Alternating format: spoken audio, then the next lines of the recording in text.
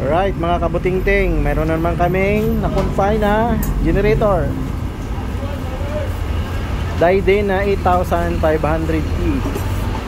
Gasoline generator. So, ang sakit niyan, butas yung ano yung ano makina mismo, yung stator. So tumukod yung connecting rod so kailangan namin baklasin para palitan ng bago.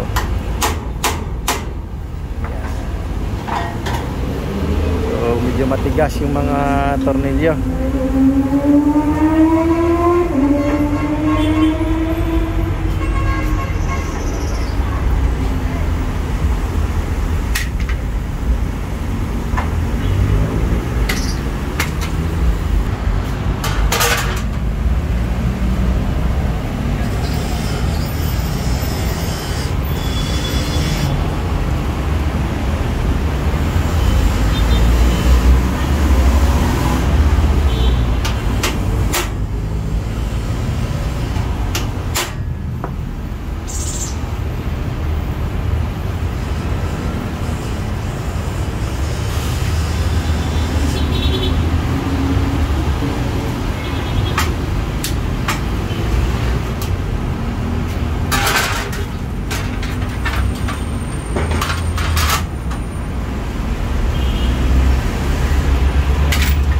Binili natin generator wala maka, ano wala pag-asa o makina talaga yung Makina sila. pero may makahoy tayo doon. Sa makina. Hindi yung sa katawan niya. Buo yung ano, buo yung ano niya, yung Binding. yun. Tabi mo lang baka magamit din natin. Tayo nakabawi doon kung hindi natin mabinta yan.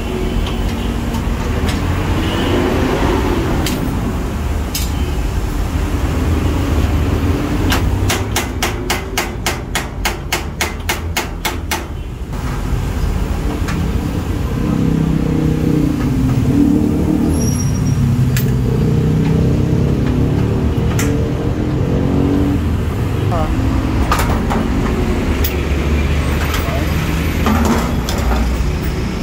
Matang-atang kami niyan.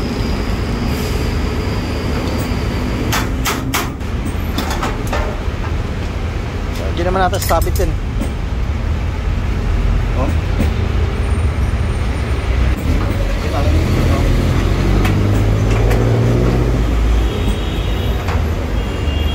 Yun.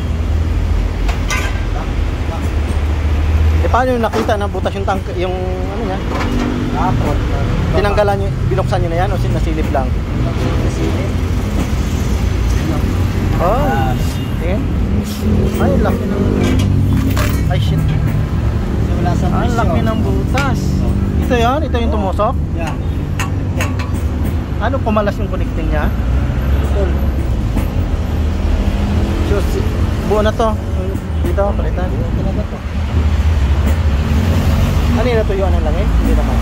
Ano kayang dahilan yun? Umuag to. Ba't siya tumukod? Umuag. Yung pamilya dun sa connecting mismo. Tapos bumitaw. Bumitaw. Ah, okay, connecting rod. Ayan. So, dapat maingay muna yan, ano? Nag- Nag-iingay sa buluto, hindi niya pinansin. Pinilit pa rin ginamit. Yan, boss. Papalit lang kami ng connecting, ah, ng makina pala. Hindi lang pwede welding yan eh. Butas.